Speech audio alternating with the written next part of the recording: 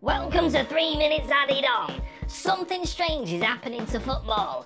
It would appear that those that make the most out of the game want to change what it's really about. Sky Bet excitedly announced this afternoon their latest fan gimmick, which would appear to be a massive fuck off sofa plonked in the middle of a stand. You know where people are supposed to be.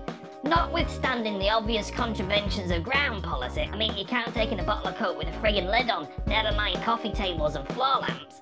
The stunt seems to be bizarre.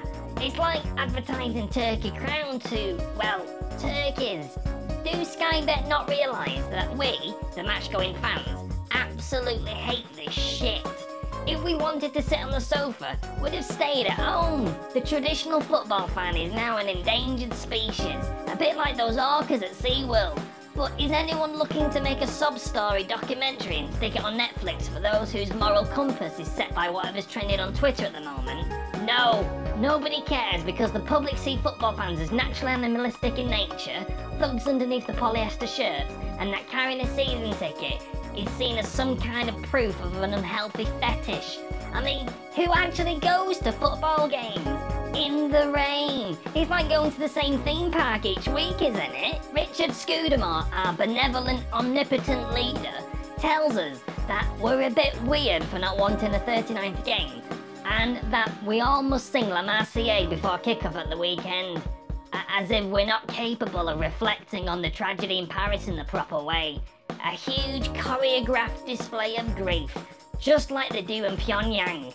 It's either a well-intentioned gesture that is a bit off the mark, or, more likely, a sickeningly ostentatious attempt to publicly grieve because it cultivates a more marketable image for the Premier League. Football fans don't need to be told when to grieve, when to reflect, when to stand in silence, to get angry, or, well, to feel anything.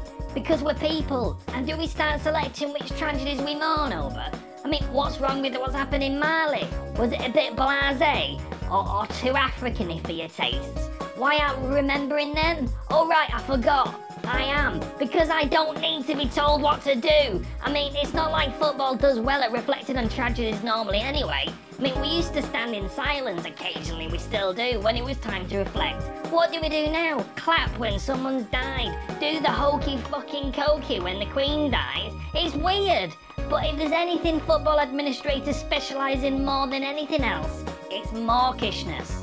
So, you can take your daft sofa, your half and half scars, your set of instructions on how we should feel, your leeching betting companies, greasy agents, thick as pig shit pundits, 70 quid a month subscription fees, 11am kickoff times, and you can shove them up your distended ass.